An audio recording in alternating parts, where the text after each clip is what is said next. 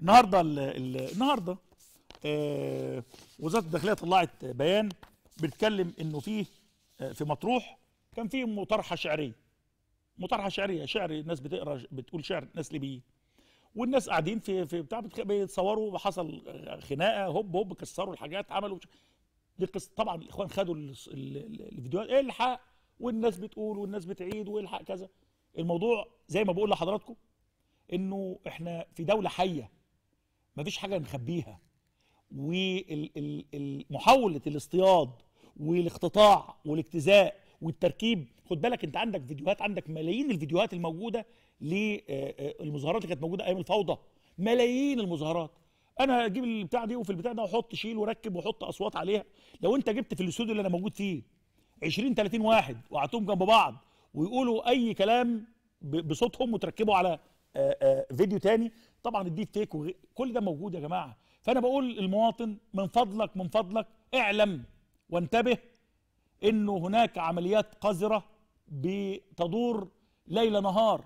عارفين طبق اليوم في البرامج اللي بتاع الطبخ كل يوم في طبق طبيخ جديد. أنا بقول لك كل يوم في طبق مسموم مطبوخ في شائعات في تشكيك جديد. كل يوم هتجد قصة. مرة اشتغل على حكاية وطن. ساب حكاية وطن؟ وساب الموضوع كله إن مصر كده بالظبط. حكاية وطن دي يا جماعة كلها. أنا شخصيا نشأت يعني خدت منها رقمين. وبعيدهم تاني. أرجوكم أستحلفكم بالله انتبهوا. خلال عشر سنين صرفت 10 تريليون.